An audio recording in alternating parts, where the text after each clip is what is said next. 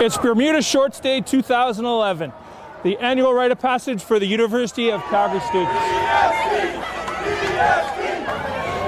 We're here at a loud house party on a private property while the big party is over at the U of C campus a few blocks away.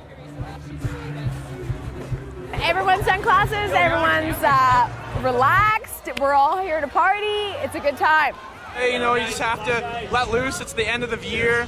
Have a great time. And the dog father is here. Grab a hot dog, grab a brew, and represent U of C. Best university. What's going What's happening today? The Calgary police are here, flying the flag, making sure things are safe for the students. Of course, there's the odd snowball being thrown, but all in all, things are going pretty good.